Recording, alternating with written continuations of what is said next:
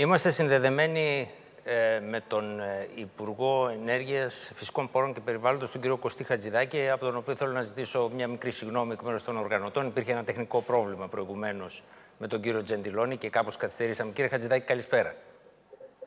Γεια σας, γεια σας. Καλησπέρα από το Ηράκλειο της Κρήτης, όπου είμαι εδώ για τις υπογραφές της υποθαλάσσιας ζεύξης ε, της Αττικής με την Κρήτη, της ηλεκτρικής υποθαλάσσιας ζεύξης, που δημιουργεί ένα καινούριο περιβάλλον, ε, όχι μόνο για την Κρήτη, αλλά και για την πατρίδα μας συνολικά στον ενεργειακό τομέα. Κύριε Χατζηδάκη, μια και είστε στην Κρήτη, ήθελα να σας ρωτήσω το εξής. Όπως όλοι ξέρουμε, η Τουρκία ε, ξεκινά, ξεκίνησε μια διαδικασία η οποία θα ολοκληρωθεί σε 80 τόσες μέρες ε, και ε, έχει δρομολογήσει έρευνες οι οποίες εάν δημοσιευτούν τελικά, που από ό,τι φαίνεται θα δημοσιευτούν στην επίσημη εφημερίδα της κυβερνήσεως, θα γίνουν στα όρια ε, των 6 μιλίων. Ήθελα λοιπόν να σας ρωτήσω, εν ώψη αυτού του γεγονότος και εν ώψη του τουρκολιβικού συμφώνου, ε, πώς προχωράνε, πώς θα προχωρήσει η ελληνική δημοκρατία με τα οικόπεδα που είναι γύρω από την Κρήτη; Υπάρχουν τα δύο οικόπεδα για τα οποία περάσαμε τις συμβάσεις τέλη Σεπτεμβρίου, ε, αρχές Οκτωβρίου από τη Βουλή. Αυτά εναπόκειται στις εταιρείες που τα έχουν πώς θα προχωρήσουν. Πάντως, εμείς από αυτής της απόψεως έχουμε ολοκληρώσει τη δική μας ε, δουλειά. Και ε, από εκεί και πέρα, σε σχέση με την Τουρκία, νομίζω δίνουμε τις δικές μας απαντήσεις, χωρίς κραυγές και εξωτερική πολιτική για εσωτερική κατανάλωση και για να μην ε, θεωρείται οικολογό, ε, νούμερο ένα απάντηση που δώσαμε στον EastMed ε, 2 Ιανουαρίου ε, και δεύτερη απάντηση στον Εύρο στις αρχές Μαρτίου. Έτσι θα προχωρήσουμε. Ε, βλέπετε τις επαφές που έχουμε με τους γειτονές μας συνολικά. Η Τουρκία είναι μια παραφωνία δυστυχώς στην ευρύτερη περιοχή. Ήθελα ε, σε ό,τι αφορά ε, στο Ταμείο της ε, Δίκαιης Μετάβασης να σας ρωτήσω, είδαμε μία αύξηση των πόρων, οδηγούμε σε μία αύξηση των πόρων που μπορεί να φτάσει ε, σε ένα ποσό 1,7 δισεκατομμυρίου και περισσότερο με τη μόχλευση που θα γίνει.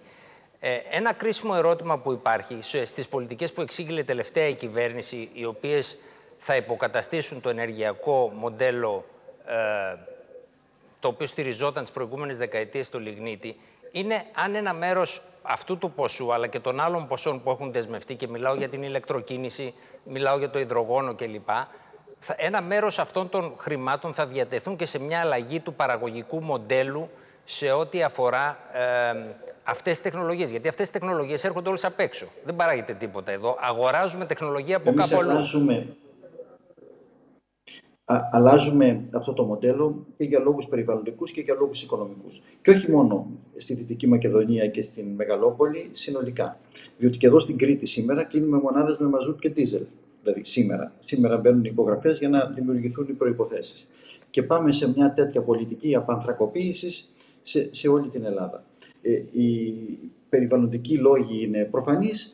Οι οικονομικοί λόγοι επίσης νομίζω αρχίζουν να γίνονται σαφείς η ΔΕΗ από το Λιγνίτη μπήκε μέσα 200 εκατομμύρια το 18, 300 εκατομμύρια το 19 και όπως πάει το πράγμα με το διοξείδιο του άνθρακα, κανείς δεν ξέρει πόσο θα μπαίνει μέσα σε μερικά χρόνια από αυτό το λόγο, αν δεν ανακοπεί η πορεία. Το ίδιο ισχύει και για, τις, ε, για τα νησιά, για τα οποία πληρώνουμε 700 με 800 εκατομμύρια το χρόνο, για την Κρήτη μόνο 400 εκατομμύρια, λόγω της επιδότησης του κόστους της ηλεκτρικής ενέργειας. Ε, άρα είναι ξεκάθαρο ότι πρέπει να πάμε προς εκεί. Έχουμε ξεκινήσαμε με 300 εκατομμύρια από το υποταμείο, γιατί υπάρχουν και άλλες χρηματοδοτήσεις, της ε, δίκαιας μετάβασης. Ε, τώρα με τις καινούργιες προτάσεις της Επιτροπής, αυτό το 300 εκατομμύρια γίνεται 1 δισεκατομμύριο 700 εκατομμύρια. Απομένει βέβαια να οριστικοποιηθεί το ποσό.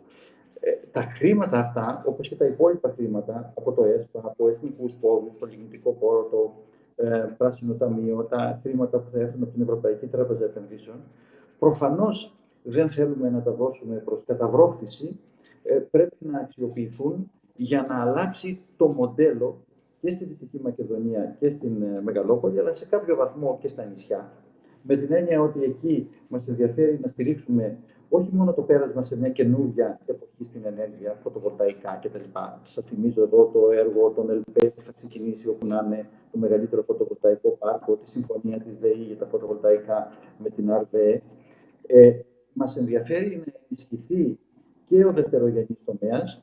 Ανακοινώσαμε κίνητρα ε, για μονάδες που θα γίνουν για μπαταρίες και, φορτιστέ και φορτιστές για να υποστηρίξουν την ηλεκτροκίνηση για τις δυνητικές περιοχές, αλλά και ο τριτογενής τομέας. Μας ενδιαφέρει όμως, εκτός ε, ε, από όλα αυτά, να δημιουργήσουμε ένα καινούριο μοντέλο, ένα ε, μοντέλο βιώσιμης ανάπτυξης συνολικά σε αυτές τις περιοχές. Γι' αυτό ήδη έχουμε ανακοινώσει, ας πούμε, μέσω του Πράσινου Ταμείου, και αυτή είναι και η ιδέα που έχουμε για αντίστοιχα προγράμματα για τα νησιά, δράσεις που θα στηρίξουν ε, την κυκλική οικονομία, που θα στηρίξουν την, ε, ε, μια πιο σύγχρονη ε, διαχείριση των αποβλήτων, ε, ειδικότερα δράσεις που, εν πάση περιπτώσει, θα είναι ενταγμένες στο πλαίσιο των πρόσθετων προτάσεων της Ευρωπαϊκής Επιτροπής για το ΡΙΚΑ, το Ταμείο Ανάκαμψης.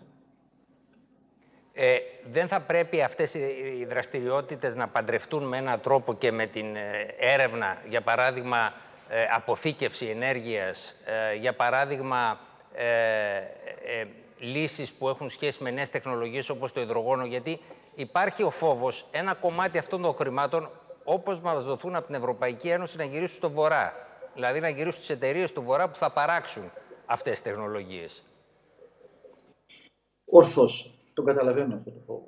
Οι προτάσεις Ευρωπαϊκής Επιτροπής, τις οποίες έτσι κι αλλιώς δεν μπορούμε να ξεχάσουμε, είναι σε τέσσερις άξονες. Ο ένας άξονας είναι αυτό που ονομάζεται δίκαια μετάβαση. Ο, ο δεύτερος άξονας είναι η ενίσχυση των ΑΠΕ με έμφαση στο υδρογόνο, θα επανέλθω σε αυτό και στις υβριδικές τεχνολογίες. Ο τρίτος είναι το Renovation Wave, το κύμα των ανακαινήσεων ε, της ε, ε ενεργειακής ε, ε, αναβάθμισης και όλα αυτά δεν, δεν μπορούμε να τα παραμελήσουμε. Έρχομαι ε, και το τέταρτο είναι φυσικά οι πράσινες μεταφορές. Ε, που ανακοινώσαμε αυτό που ανακοινώσαμε για την ηλεκτροκίνηση κτλ. Τώρα, σε σχέση με το υδρογόνο που με ρωτάτε, βεβαίως δεν θα το ξεχάσουμε καθόλου, διότι έχουμε και ερευνητικά Ινστιτούτα στην Ελλάδα. Δεν θεωρούμε ότι το υδρογόνο θα είναι μια λύση η οποία θα μας κάνει να αντιμετωπίσουμε όλα τα προβλήματα. Θα κινηθούμε πολυεπίπεδα, δεν υπάρχει καμιά αμφιβολία σε αυτό, αλλά έχουμε το υδρογόνο στο μυαλό μας. Ε, άλλωστε, νομίζω το αγκαλιάζει και η περιφέρεια της, της Δυτικής Μακεδονίας.